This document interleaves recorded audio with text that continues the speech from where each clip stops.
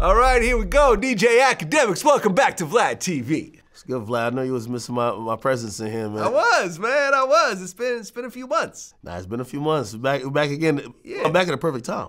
Right, right. And you know, I did your show. Yeah, yeah. A couple months ago. Yeah, you know, yeah. you and I kind of go back. I know, I know, I know. Nah, this this time around, I was like, yo, I, I got to get to Vlad, and I hate that I, I I rescheduled on you, and I was like, I like I, I'm a man of just like responsibility and integrity. So I'm like, oh man, I want Vlad to think I'm curving him.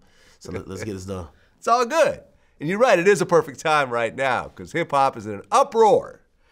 And of course, it started on uh, Metro Boomin Futures like that. Oh, you starting with that one? There's a lot of with stuff that one. There's a lot of stuff, but I think Yeah, that's yeah, the one to start with. So it Okay. started with the Kendrick verse. Yeah. You know, he said, fuck sneak dissing, first person shooter. Hope they come with three switches. Of course, first person shooter was a song with Drake and J. Cole. Mm-hmm.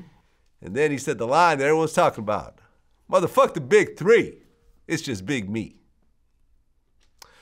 Then, he, of course, he said, uh, for all the dogs getting buried, that's okay with all these nines, you're going to see Pet Cemetery. Clearly a shot at Drake and J. Cole. Yeah, he shot the whip up, man. Yeah, he he shot shot, the whip up. I'm, I'm gonna be honest with you, disrespectfully, you know, let people know. You know, you know the funny thing is, and I've been realizing about Kendrick. Kendrick is lack he's lacked he's lacked the level of respect or even handle these guys like with any type of decorum. I mean, he's been doing it since Control. You know, you know. He said uh, I heard it talking to barbershop all the time is who's the who's the greatest, me, Jigga, or Nas or something like that. You know, and then he mentions Eminem, Andre 3000, and he says the rest of y'all. Y'all just new dudes. Just don't even get involved in this. And it, like he, he never really respected his peers, and I think always, you know, I'm gonna blame this whole thing on, on J Cole. Really, J Cole's been the one trying to like walk in the middle, the little brother, so to speak, the middle child, trying to keep his hands around the two other brothers that really want to go at it.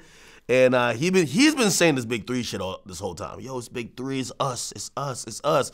Like Kendrick never looked at the whole time was like, who's us? Like I don't fuck with you. So I mean, you know, two things occurred, right? Him and Drake should have already kicked off, but something happened along the line where his relationship with J. Cole severed.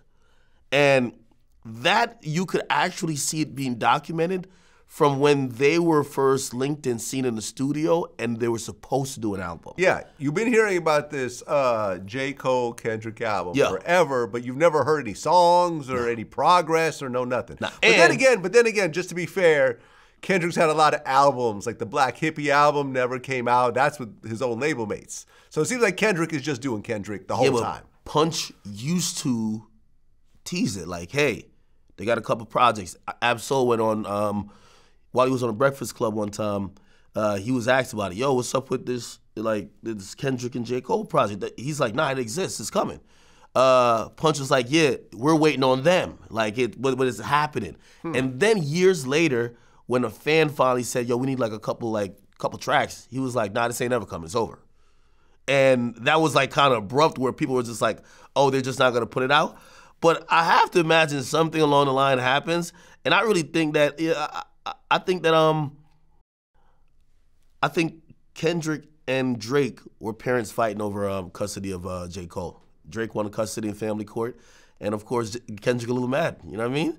I think that's what happened because he, the way he does both of them it, he acted like he don't even have a relationship with them, which I imagine he doesn't really have one with Drake. Drake back in the day when he did Control, Drake, his demeanor was, "Are we really dissing or we're rapping?" Like I can't tell it because you're not standing on it. I think he, his line specifically was, "Hey, you're gonna call my name out to get a moment, and then you're gonna just say you're just rapping." Well, that's not that's not how I do it. Like usually, if you're gonna call my name on, it, you're gonna stand on whatever you say. So, you know, uh, I'm still blaming this whole thing on, on, on J. Cole. He's been acting like these three are kumbaya. I mean, the culture's kind of wanted them to be kumbaya. And um, yeah, Kendrick said, fuck that shit, man.